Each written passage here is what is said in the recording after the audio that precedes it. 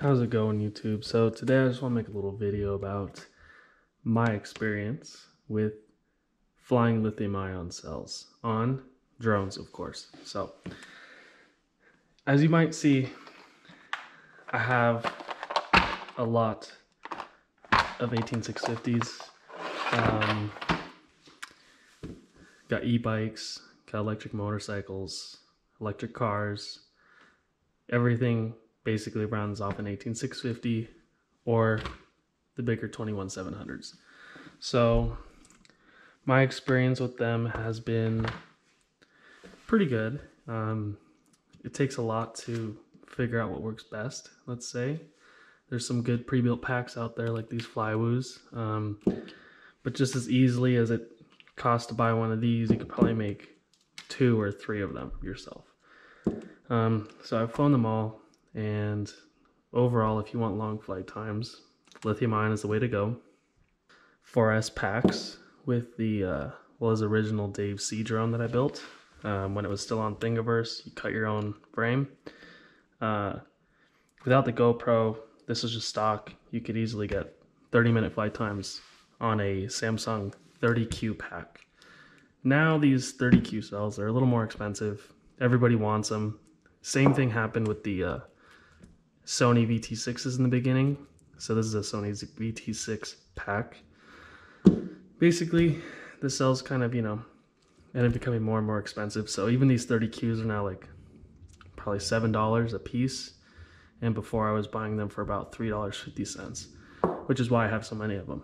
Um, so definitely it's a little more difficult to build packs on the cheap, but that's where other brands come in, such as these Molicels. These are almost 3000 milliamp hours, uh, 35 amp or 30 amp compared to the Samsung. These are 35 amp or 30 amp and um, and they're 3000 milliamp hours. So they're pretty good. Same as the VT6. Um, high amperage helps a lot with the drones because a little less sag. If you use really low amp cells that are maybe 5, 10 amps, your your drone won't fly. It's not going to have the amperage behind it to stay in the air long enough. So that's where picking cells is important. Um, now we got new cells, 21700s. These are about 4,000 milliamp hours here. The 35 amps, more amps out of these. You can get some up to 5,000 milliamp hours, but the amps are only going to be about 5 amps. So you can't make them to fly drones, but that's a, a future project. Uh, maybe I make a build video about how I build these. I use a spot welder now. Um, but I've basically flown 2S, 4S packs, 6S packs right here, 6S 2P packs right here, double the size. And basically each time you go, more and more cells, longer, longer flight time. But at some point it's going to become pointless, depending on what your setup is. Um, let's say for a little 2S pack here, I've flown this for about 32 minutes on a drone that wasn't even meant to do long range. It was my little two inch park flyer. You know, it's just, just basically it's my little ripper, you know, my little two inch ripper. But the funny thing is that with lithium ion, you're able to fly 30 minutes, no problem. And that's even with props that are not very efficient. Um, so that's pretty fun. So I've done 2S. It's pretty fun to experiment. I've done the 4S packs here. And uh, again, you know, flying it with the Dave C frame here, you need to get 30 minutes, no problem. On the VT6, I think the cutoff is about maybe 2.8 volts or something. So you won't be able to fly the, the VT6 cells as long as you'll be able to fly the 30Qs, these ones. The 30Q cutoff is about 2.2 volts. So if you really want to go extra long, you can take these puppies all the way down to 2.2 volts per cell and you'll fly a pretty long time. Um, another thing, when it comes to 6S, even these packs, this is just a 6S 1P, you're able to get 30 minutes no problem on a 7 inch. You know, something like this. Like this is a long range quad that we built here. And basically some tips from Falcon Red. He's pretty good at long range. You know, even with the 6S1P pack, I mean, I would say 18 minutes or so on this one. But as soon as you end up going with a 6S2P on this one, it's heavier.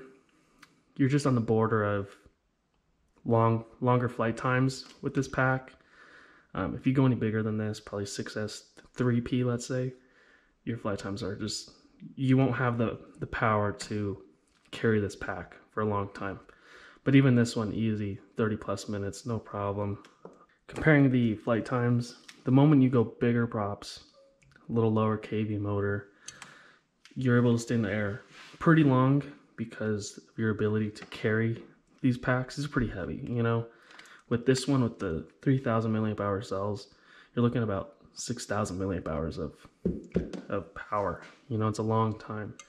So on a 7 inch, I would say the sweet spot is definitely these 6S2P packs. Um, these are pretty good. If you're to go bigger, 10 inch drone, let's say, for some long range 10 inch, you could definitely do a 3P pack, no problem. Um, this will carry it no problem. You know, it's got massive props. You know, the KV is pretty low, so the sag on the 18650s is appreciable compared to, let's say, like something inefficient like a Cinewhoop. If you try and fly a 4S pack on a Cinewhoop, they don't, uh, they're not as efficient. So it's, they just sag the cells too fast. But if you wanted to go crazy, you could definitely do a 6S3P pack on a 10 inch and you could fly forever. So that's pretty fun. It's um fun experiment with these cells. Um, you know, just comes down to picking, you know, what kind of well, first what price you're willing to pay for cells. I wouldn't pay over four dollars a cell for a lot of things. Um, hopefully the prices go back down and you can pick more uh, high quality cells like the uh, 30Qs. These are really good.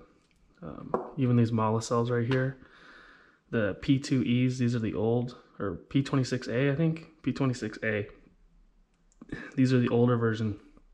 Then I have a V2 um, with, uh, I think, 35 amp with the same capacity, so that's pretty good. Um, and then the next thing that I'm to try here is these 21700s. So these are Lenshens, they're 4000 milliamp hour, 35 amp. So it'll be interesting to build a 4S pack and um, probably build a 5 inch ultralight long range drone because the 5 inch prop is a little better at carrying heavier packs. Even the Dave C frame, it suffers a little bit. Um, definitely, I mean, for the Dave C frame, if you're wanting just to fly a long time, it's really efficient already.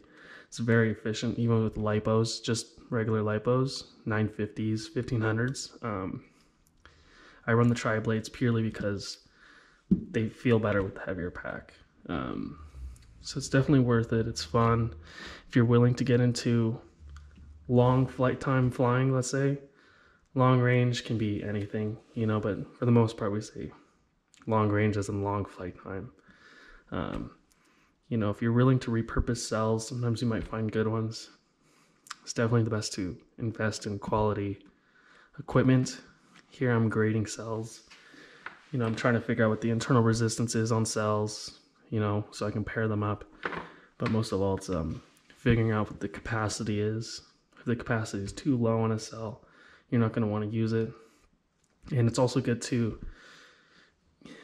grade the cells that you buy to make sure that they're not lying on their capacity or their amperage. Um, that's important because if you put crappy cells together, you're just going to get a crappy battery. There's always the risk of the battery just malfunctioning and you losing your quad. So it's important to invest in quality cells in the beginning. Otherwise, you know, you're just to fly crap, you know, and it's never to work the way you want it to work. Um, so definitely it's it's fun to fly long range. It's definitely fun to just fly there for 20 plus minutes. Might get exhausting, but uh, it's pretty enjoyable to not have to only fly four minutes at a time. Um, and as well, you know, maybe I'll make a video on building packs. Um, there's a little bit of prep with it. It's easier to buy a spot welder rather than soldering 18650s. It's a pain in the butt to try and solder these.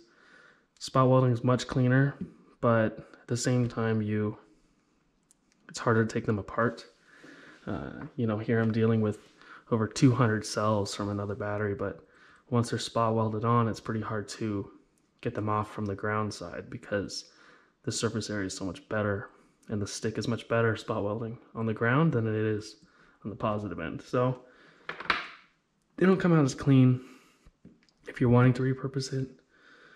But again, you know, I'm in the I'm using these cells to rebuild a bike battery, you know. Here's a tray, you know, basically you're lying all the cells in there. So, you know, basically my this is my little outlook on what I've done for long range flying, cell choices, and my overall experience. It's been a pleasure to do this. So hopefully it brings some enlightenment to you viewers who are wanting to build your own packs and trying to see what's the best cell out there. Um, you know, if you're not willing to want to build your own, that's never a problem. You can always buy them straight off the bat, you know, from Flywoo or ZOHD. You know, they're selling a lot of packs. I know ZOHD is starting to make 4S 21700 packs. Um, but again, those are for planes, so the amperage is lower already. Um, they don't need as much amps, you know, to be drawn like as a quad, like a quad. So um, they're a little bit different. And again, if you're going to be buying packs, you should definitely see what kind of battery is going to be in it and try and look at spec sheets because that's important to know what the performance of the cell is going to be.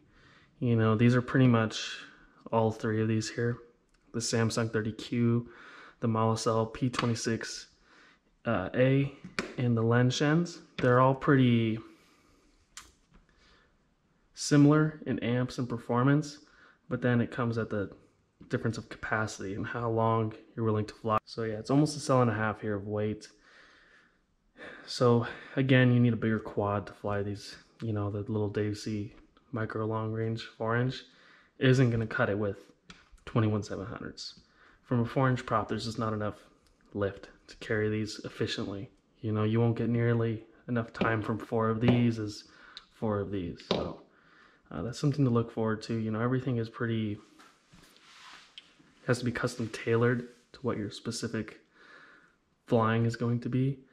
Um, you know, if you're going to fly 7 inch, 6S only way, you know, but you can either go with just a 1P pack, 3000 milliamp hours, and you're only going to spend, you know, maybe $20 in cells, you know? And if you're going to go buy a 6S 5000 milliamp hour pack, they're close to $80. Um, so that's important to look at. But again, it's the performance of a LiPo versus performance of lithium ion. It can change, you know, especially if you're just going to want to, you know, rip around, you might as well get the 5S or the 5000 milliamp hour 6S LiPo because you're going to get the performance out of it that you won't get out of a lithium ion. You know, you're not going to go do a bando with a lithium ion pack. There's not enough power behind it, you know, to compensate for that sag when you're full throttle.